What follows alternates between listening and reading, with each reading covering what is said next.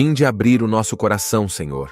Ó Senhor, abri o nosso coração, e então, do vosso Filho a palavra, poderemos acolher com muito amor. O Senhor esteja convosco. Ele está no meio de nós. Proclamação do Evangelho de Jesus Cristo segundo Mateus. Glória a vós, Senhor. Naquele tempo, Jesus contou esta parábola a seus discípulos. O reino dos céus é como a história do patrão que saiu de madrugada para contratar trabalhadores para a sua vinha. Combinou com os trabalhadores uma moeda de prata por dia e os mandou para a vinha. Às nove horas da manhã, o patrão saiu de novo, viu outros que estavam na praça, desocupados, e lhes disse: Ide também vós para a minha vinha, e eu vos pagarei o que for justo. E eles foram. O patrão saiu de novo ao meio-dia e às três horas da tarde, e fez a mesma coisa. Saindo outra vez pelas cinco horas da tarde, encontrou outros que estavam na praça, e lhes disse: Por que estáis aí o dia inteiro desocupados? Eles responderam: Porque ninguém nos contratou. O patrão lhes disse: Ide vós também para a minha vinha. Quando chegou a tarde, o patrão disse ao administrador: Chama os trabalhadores e paga-lhes uma diária a todos, começando pelos últimos até os primeiros.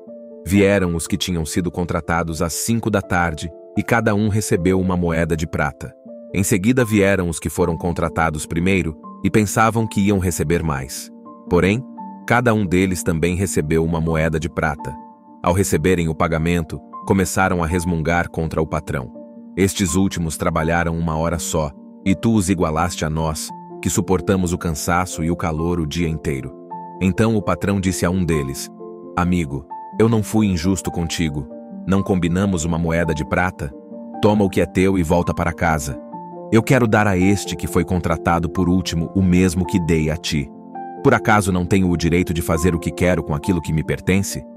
Ou estás com inveja porque estou sendo bom? Assim, os últimos serão os primeiros e os primeiros serão os últimos. Palavra da salvação. Glória a vós, Senhor.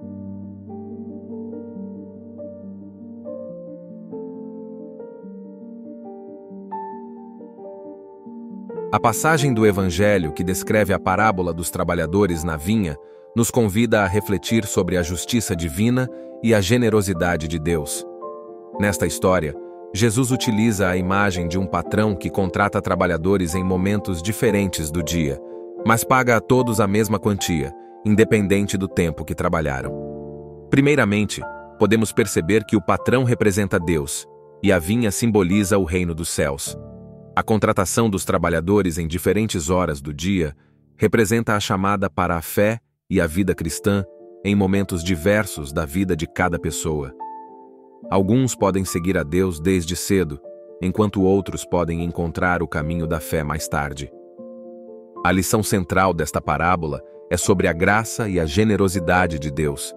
Ele não trata as pessoas de acordo com seus méritos ou tempo de serviço, mas oferece a todos a mesma recompensa, a vida eterna. Isso nos lembra que a salvação não pode ser conquistada por nossos próprios esforços, mas é um dom gratuito de Deus. A reação dos trabalhadores que foram contratados cedo e receberam o mesmo pagamento dos que foram contratados por último nos mostra como a mentalidade humana pode ser focada na comparação e na inveja. Isso nos alerta para não julgarmos os outros com base em nossos critérios, mas a reconhecermos a justiça e a vontade de Deus que é diferente da nossa.